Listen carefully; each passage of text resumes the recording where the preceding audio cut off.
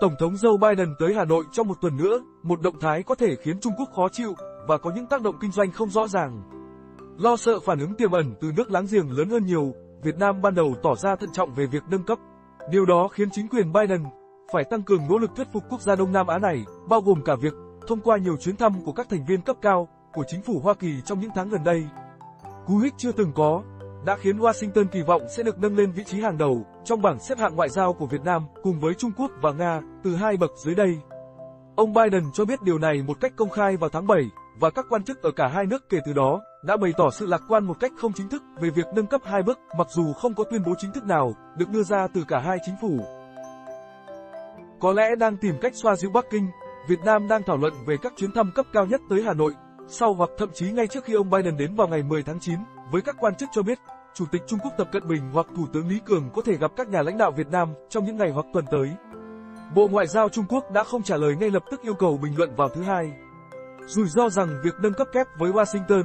có thể không diễn ra tốt đẹp ở Bắc Kinh vẫn còn cao, nhưng các nhà lãnh đạo Việt Nam có thể đã tính toán thời điểm tốt nhất cho hành động này là ngay bây giờ, vì quan hệ Mỹ với Trung Quốc có thể sẽ trở nên tồi tệ hơn trong tương lai, ông Lê Hồng Hiệp, nghiên cứu viên cao cấp tại Viện Y sĩ Yusof Isaac của Singapore cho hay. Alexander Vu Vinh thuộc Trung tâm Nghiên cứu An ninh châu Á-Thái Bình Dương Inuai, có trụ sở tại Hawaii cho biết, nền kinh tế Việt Nam rất cần được tăng cường về vốn, công nghệ và tiếp cận thị trường. Ông lưu ý rằng đó có thể là lý do chính cho việc nâng cấp. Ông Hiệp cho biết, việc tăng cường cung cấp quân sự của Mỹ cho Hà Nội cũng đã được thảo luận từ lâu, nhưng dự kiến sẽ không có thỏa thuận ngay lập tức vì các cuộc đàm phán này cần có thời gian. Trong khi đó, Việt Nam đang đàm phán với một số quốc gia khác để nâng cấp và mở rộng kho vũ khí, chủ yếu do Nga sản xuất, và gần đây đã tham gia nhiều cuộc họp quốc phòng cấp cao với các quan chức hàng đầu của Nga. Hỗ trợ tham vọng trở thành trung tâm của ngành công nghiệp bán dẫn của Việt Nam cũng là một phần trong nỗ lực khuyến khích của Washington, nhưng nguồn vốn công có sẵn theo đạo luật chip cho đến nay vẫn còn rất hạn chế.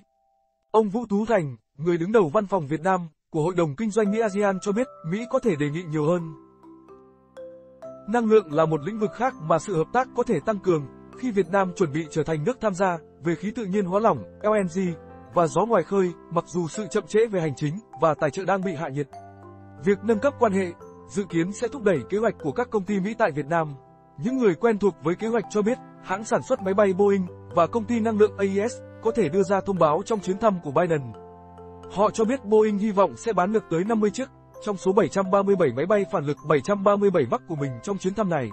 Các công ty từ chối bình luận. Hoa Kỳ hiện là thị trường xuất khẩu lớn nhất của Việt Nam và thủ tục hải quan của Hoa Kỳ có thể được nới lỏng để thúc đẩy thương mại, ông Thành từ Hội đồng Kinh doanh Hoa Kỳ ASEAN cho hay.